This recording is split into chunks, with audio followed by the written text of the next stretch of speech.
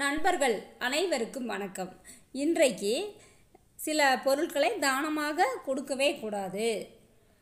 தானம் கொடுப்பது என்பது பலவிதமான புண்ணியங்களை சேர்க்கும். பாவங்களை போக்கி புண்ணியத்தை சேர்க்கும் என்று நமது பெரியவர்கள் எல்லாம் சொல்லி நாம் கேட்டிருப்போம். சிலவற்றை தானமாக கொடுக்கவே கூடாது. அப்படி கொடுத்தால் வீட்டில் உள்ள செல்வ நிலையானது குறைந்து கொண்டே போகும். என்கின்றது சாஸ்திரம்.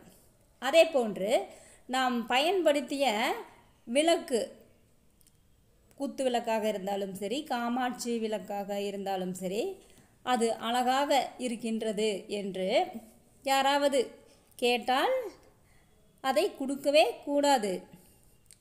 வேண்டுமென்றால் புதிதாக வாங்கி கொடுக்கலாம். அதில் தவறேதும் கிடையாது.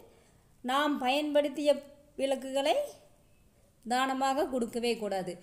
அதே போன்று நமது பிறந்த வீட்டிலிருந்து அவர்கள் பயன்படுத்திய விளக்குகளை புகுந்த வீட்டிற்கு எடுத்து வரக்கூடாது.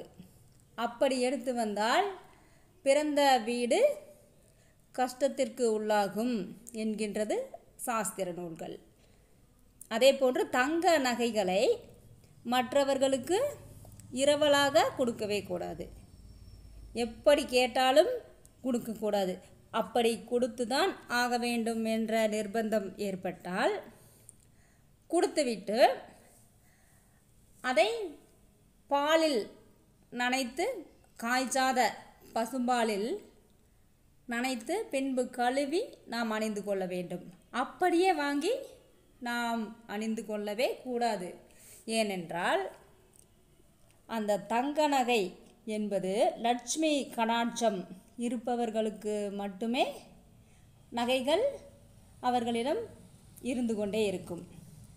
எல்லோருக்கும் அந்த லட்சுமி கடாட்சம் இருக்கும் என்று சொல்ல முடியாது.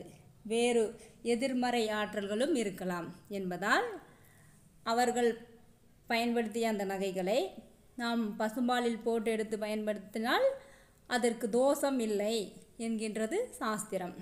இது போன்ற வீடியோக்கள் வேண்டும் என்றால் கமெண்டில் கேளுங்க.